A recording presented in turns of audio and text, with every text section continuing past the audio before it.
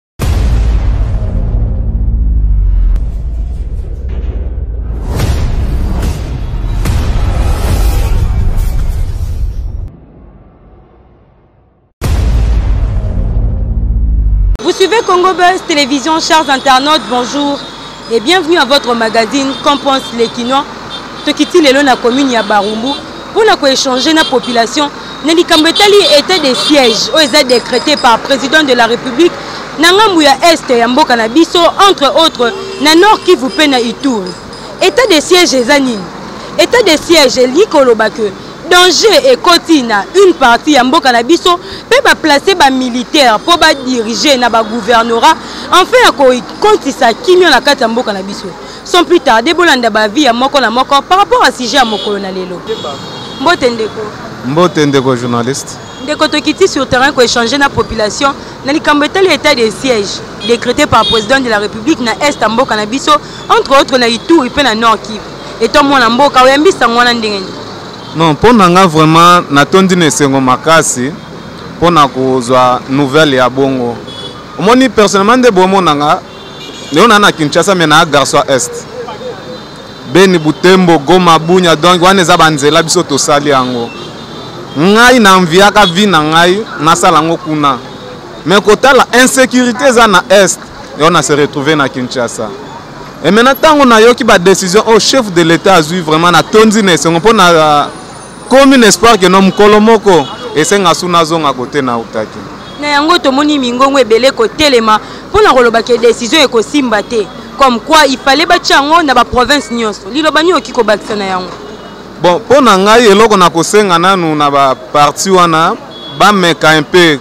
kotika nano décision oyo chef de l'état azwi yango esala nanu musala soki nde keno esimbi te na moment wana nde bakolinga keno base revolte lisusu par rapport na makambo bazolinga basala batika nanu yango ezala nanu est ce que na délai oyo bapesi biso boza sur ke kimia ekokota na est ya mboka na biso mpo na délai bapesi il faut oyeba keno este eza mpanzi moko oyo eumeli na makambo wana quelque soit ekosimba soit ekosimba te oyo wana etali makambo ya bato oyo bazosala mosala bato oyo bazosala mosala na centre de militaire bango nde baza na position wana bango nde bakopesa rapport wana olanzi etombo na mboka soki koloba liloba suka na bandeko nyonso bazolanda wana ngambo ya este ya mboka na biso liloba no ekozala nini donc eloko nakosenga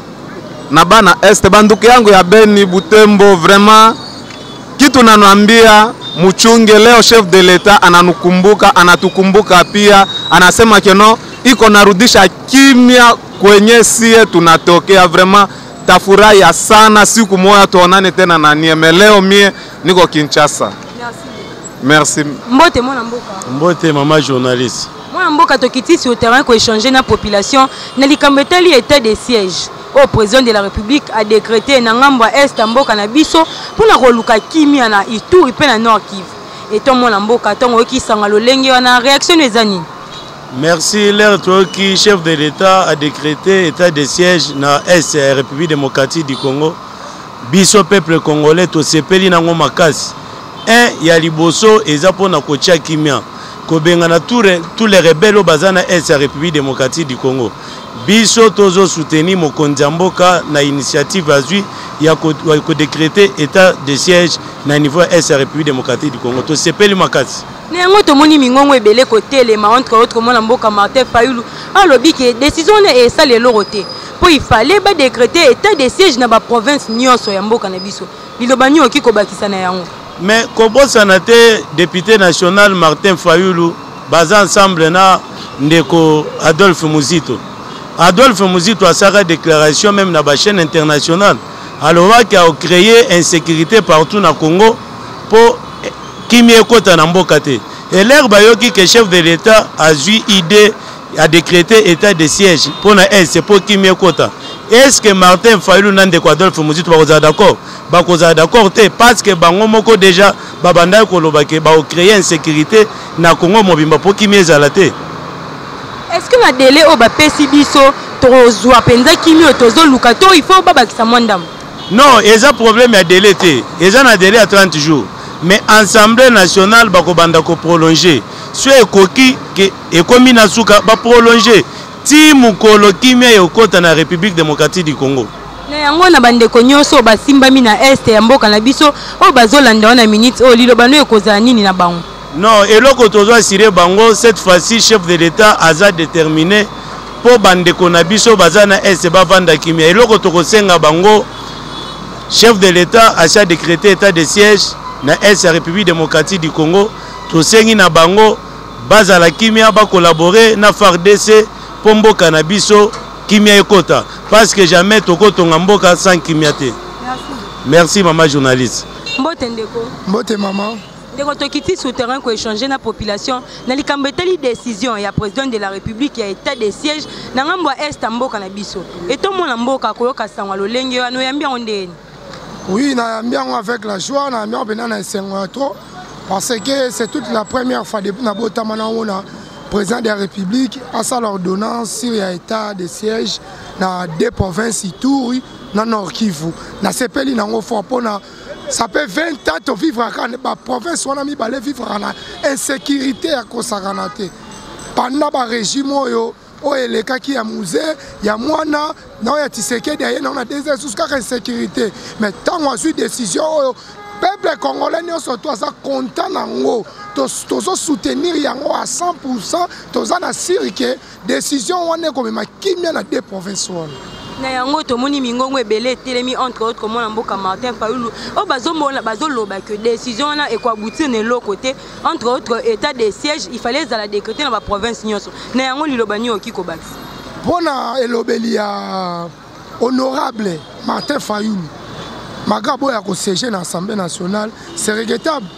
bango baza wana bango baprogramaki marche marche mpo na situation ezo se passe na aix sikoyo marche wana basalaki yango mpo na deux province wana ya itur na nord kivu bando soutenir marche kuna bazoboma bato bamassacre ezodemeure toujours batikeli kosala marche te contre ke bazoboma bato na katanga bazoboma bato na tanganyika baboma bato na kinshasa basala ye marche mpo na yango te me basala ye marche mpo na kaka ya de province wana ituri na nord kivu lelo sikoyo to mokonzi ya mboka Fatih Beton azwi décision ya, ya, ya kolancer état de siège annonce yango déjà à partir ya lobi makambo ezobanda mbala moko bango basepeli te toloba ke bango bazalaki ke na makanisi ya kimia eza na ese te toloba ke bazalaki na baintérêt na bango moko na ndenge ya se okomprendre mon frère bazalaki na baintérêt moko na ndenge ya se oyo bazali kobeneficie na de province wana siko décision mokonzi ya mboka azwi lokola eza décision moko efficace oyo baintere na bango ekozala lisusu te kimia ekokɔta na kati ya baterritware wana mibale yango omoni ezosala bango mitema mpasi ekomisi bango babilobela oyo basolobake ifa azwa na tout letandi azwa na tout letandi koma parce que na kinshasa tovivre na kimia yebisanga na kinshasa baoboma banani guerre ezosalama place nini na kinshasa na bakongo guerre nini esalama eza te oke na équateur eza te oke na kasai oke na kasai oriental kasai central nyonso tu omona guerre ezosalama te mais guerre ezosepase kaka na este nde mpesi président zwi mokano oyo bango bamartin fayulu basengaki basala marche marche oyo bango basalaka mpo na ya de province wana so décision wana ekomi décision mabe ekomi fe azwa na tout letandi azwa na tout letandi comment nayebi te soki bango bamemaka makambo na sentiment na bango na mpo abamona bango alobi lokola président aloba ye balingi aloba amona bato bamona ye mpe ya martin fayulu mpe alobi na ndenge na ye non politike wana eza politike oyo ekofanse mboka te etomona mboka soki koloba liloba moko oyo ekozala lokola conseil na bato nyonso bazotombola mingongo par rapport ya décision mpona koaboutir na massacre na est liloba no ezali liloba na yango ezali to encourage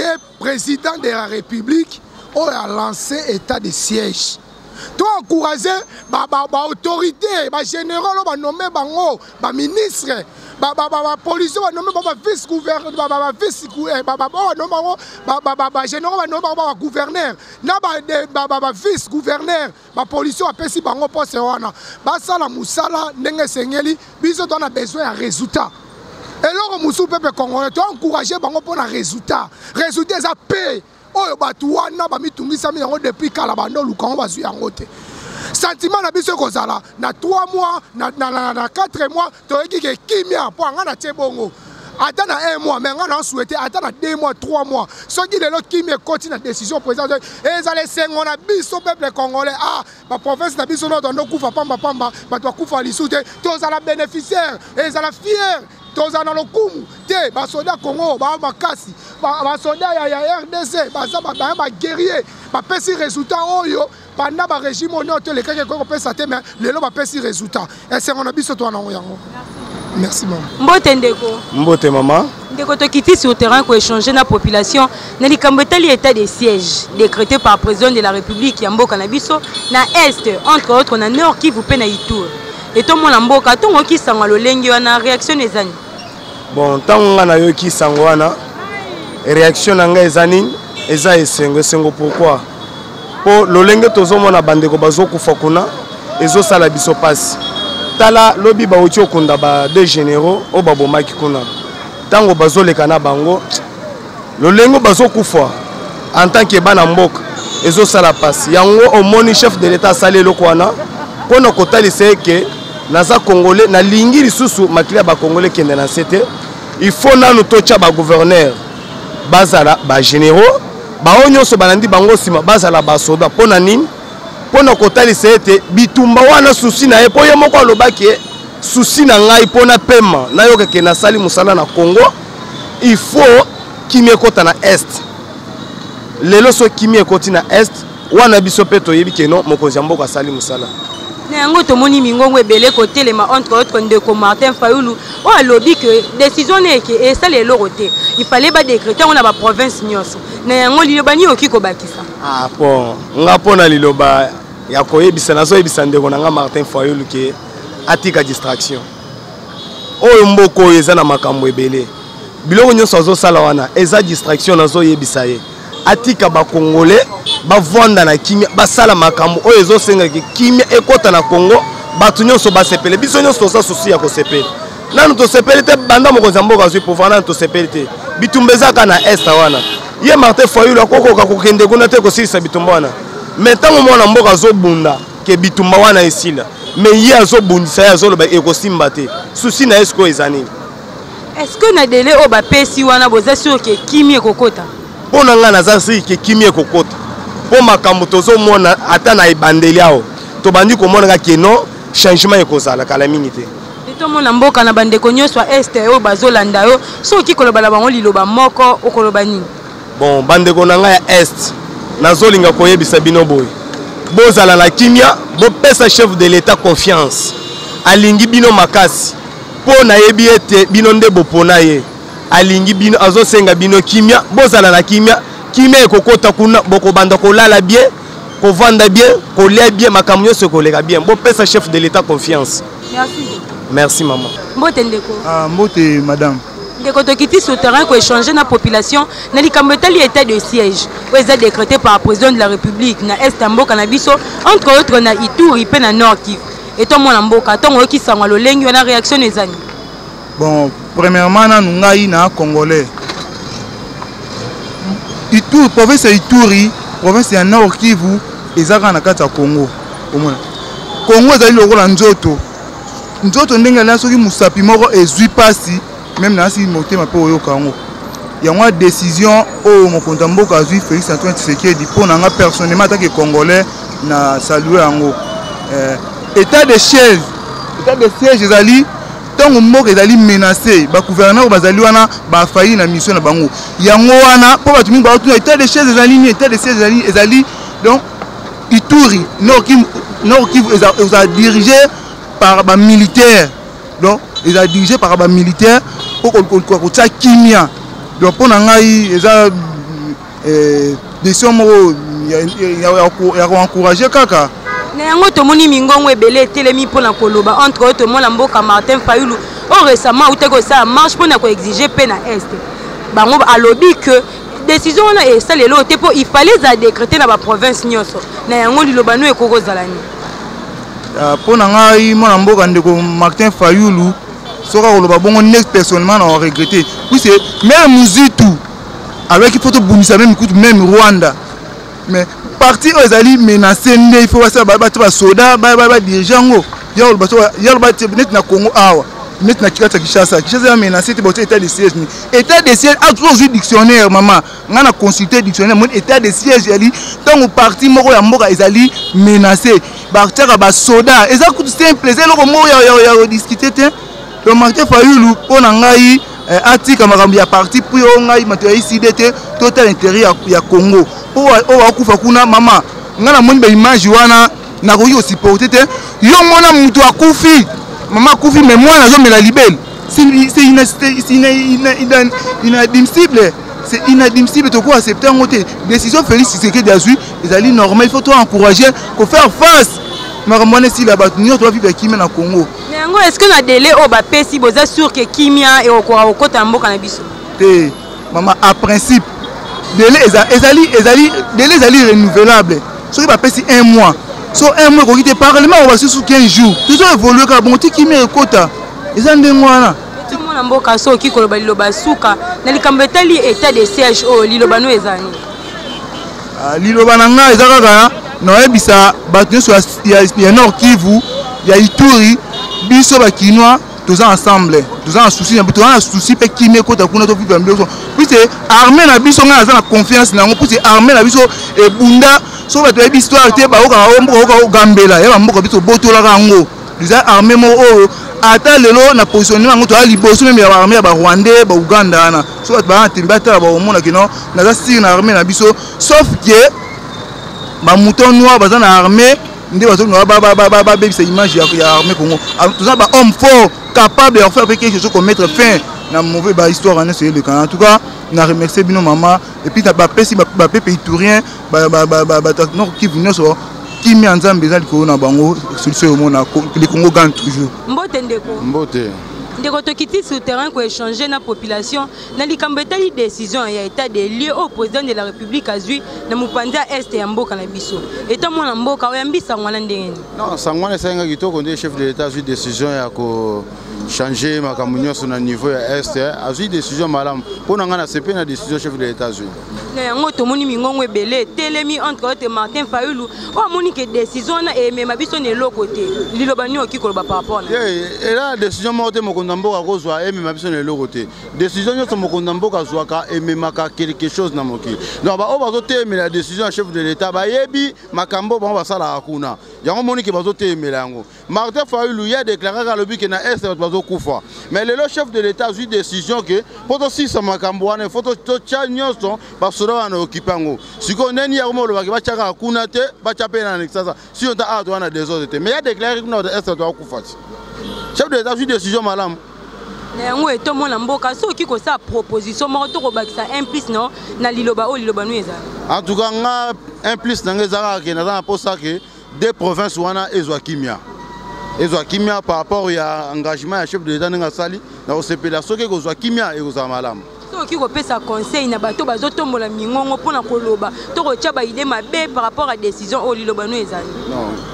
naza na conseil moko te nakoki buti na bato wana nyonso parce que moto na moto azalaka na ide na ye oyo ye azomonela kuta atelemeli ya malamu oyo ye amoniki ya koexprime liboso na bato to kodeklare na eloko oyo omoni claire te mais mpo na part na ngai antuka ngai namoni malamu merci mbote papa mbote mbote papa tokiti sur terrain koéchange na population na likambo etali état de siège oyo eza décrété par président de la république na est ya mboka na biso entre autres na ituri mpe na nord kivu etant mwana mboka ntango oyoki sango ya lolenge wana réaction no eza nini ngai nasepeli mingi na ndenge mokonzi ya mboka atie etat de siège parce que bato bakufa kuna baa banyama te baa bacongolais en tant que mokonzi ya mboka atia etat de siège mpo na ngai nasepeli na yango tomoni mingongo ebele etelemi mpo na kolobaka etat de siège oyo ekosimba te comme quoi fale batya yango na baprovince nyonso liloba nini okoki kobakisa na yango te bakoki kotya yango na baprovince nyonso te bakotya yango na baprovince oyo bitumba eza parceke bitumba eza na baprovince wana baprovince mosusu etikali bitumba eza te yango tosepeli batya yango kuna est ce que na dele oyo bapesi boza sur ke kimia mpenza ekota na est ya mboka na biso c'est sur ngai na asure ke na dele bapesi soki bitumba esili te bakobakisa bakobakisa ti mokolo bitumba osila Etomo na mboka soki oki oloba liloba suka na oyo etali etat de siège ya mboka na biso oyo ba décréter liloba no ezala nini? Liloba na ngai eza ke tosangana liboke moko tosunga mokonzi ya mboka asilisa biloko wana. Merci. Mbote ndeko. Mbote mama. Ndeko tokiti sur terrain ko échanger na population na likambo etali état de état de siège oyo eza décrété par président de la République na est ya mboka na biso entre autres Nord Kivu mpe Ituri. ete omona mboka ntongo oyoki sango ya lolenge wana réaction no eza nini bon susi na ngai selo mwana mboka naza kosenga koleka mingimingi mokonzi na biso ya mboka ete likambo wana ayeba kozwa yango mpenza kotia yango mpenza na motuya mpenza mpo ete bandeko wana baza kuna kimi eza na yango te kasi atake ye aza mwana mboka aza kodirige mboka oyo toza kosenga ete azwa likambo yango mpenza na charge toza kosuteni ye biso nyonso maboko na ye nsima ete mpo na kokuraje ete likambo wana kimia ekɔta na mboka ya est na yango tomoni bandeko bamingongo etelemi entre autre ndeko martin fayulu alobi ke desizio wana esali eloko te mpo ifale badekrete na baprovince nyonso liloba nini okoki kobakisa na yango nakoloba boye mpo na likambo etali ndeko martin fayulu martin fayulu aza na ye congolais aza na étranger aza congolais kasi eloko tozosenga na ye na makambo nyonso atake président de publique aza kobimisa yango ye tobo ete azala na aza na oposa kasi azala nsima na ordre ya maloba président aza kobimisa yango ye apesa président courage mpo ete bapesa ye soutenu mpe makasi mpo ete basala likama na ezwa kima mpe kozala mpe lokumu mpe na ye mpe kozala mpe lokumu mpo na peuple congolais na yango eske na mikolo oyo batie bobanzi kimi ekokota to efaye babakisa mwa ndambo Bon, mpo na ngai naza na kondima ete kima ekokota nango na es kima ekokota likambo président abimi toza na courage mpe toza na monoko moko toza kopesa ete no ekosimba nyonso ekosimba etomona mboka soki koloba liloba moko na bandeko nyonso basimbami na est ya mboka na biso bazolanda yo liloba na yo ekozala nini liloba na ngai naza koloba ete bandeko baza na est baza bandeko na biso toza meme esprit moko toza meme koro moko kati toza kosenga ete bazala na motema basuteni président solo na baideo aza nango mpo ete na ideo aza kopesa yango nde kosala ete kimia ekota na mboka na est kuna esika bango bafandi fin de cette émission vous étiez nombreux à suivre les avis des uns et des autres quant au sujet donné merci à jacob qui était derrière la caméra à vous tous qui nous avez suivis je vous dis grand merci pour votre réelle attention nous sommes de cœur avec nos frères